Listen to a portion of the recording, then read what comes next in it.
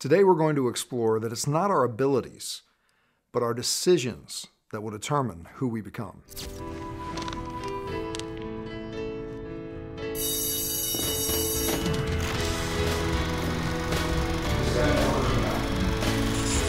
Take the first step. That's the only way. Can you think of a situation where someone who was less qualified, had less knowledge or less ability, actually succeeded more than the people who seemed to have the knowledge, the qualifications, or the abilities? There's a rule in life that it's not always the person with the most abilities who's going to succeed. It's the person who wants it most. Simple formula decision plus focus plus consistency of purpose equals success. Quite simply, when a person decides they're going to achieve something, and when they focus all of their energies on it, and they have a compelling reason that's driving them forward, and they maintain consistency, the universe moves with them to bring into place the circumstances, the situations, the people to help them become successful.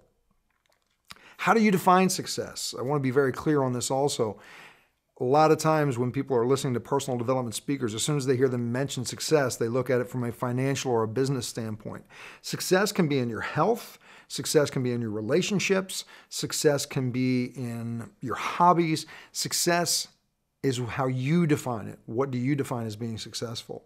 the point that I really want to stand here and, and make to you is that you ultimately are the one who decides whether you're going to succeed or not. Before you begin, you make that decision.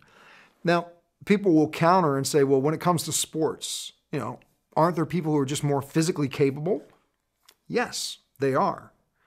And the person who wants it most will still beat out the person who may have more physical ability. I want to refer to a quote by Roger Bannister. You may be familiar with him by his breaking the four minute mile. Up until Roger ran the four minute mile, no one else had done it. And Roger said this The man who can drive himself further once the effort gets painful is the man who will win. Now, this is the man who, until he broke that barrier, no one else had ever come close to.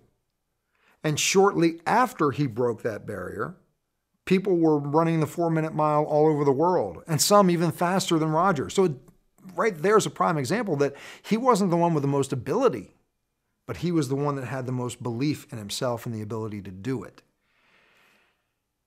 Your decisions that you make will determine the outcome of your life.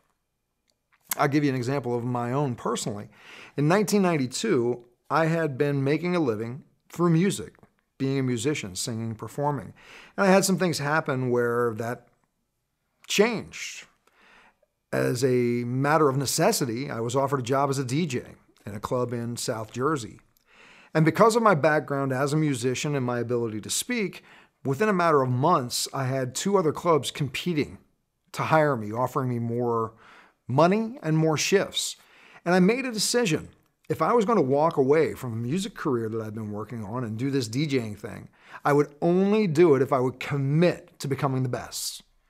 And the measure of success was to be working in New York City, which was an hour and a half north of where I was, at the best clubs in New York City. And that's what I set my goal as. Within three years, I was working in New York City.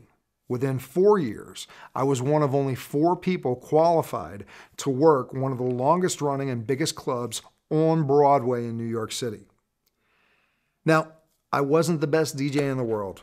I'm going to totally cop to that. Wasn't the best DJ in the world, but I did make the decision and I wanted it the most. So I did what it took to get to that position. I also want to say that it wasn't all me.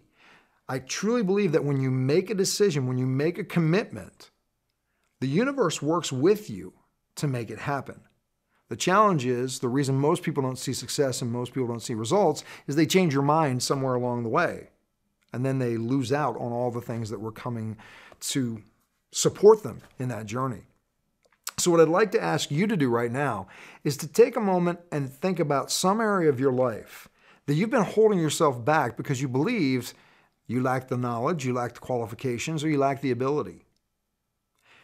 Sit down right now and think about how your life would be if you actually did step up, make the decision to commit yourself to it, focus your energies, and stay consistent with that decision until you achieved it. What would your life be like? Paint a picture for yourself. You don't have to make the decision to change your job right now, but I do ask you to explore the possibilities. Inspire yourself to take action. I look forward to seeing you soon. Take care.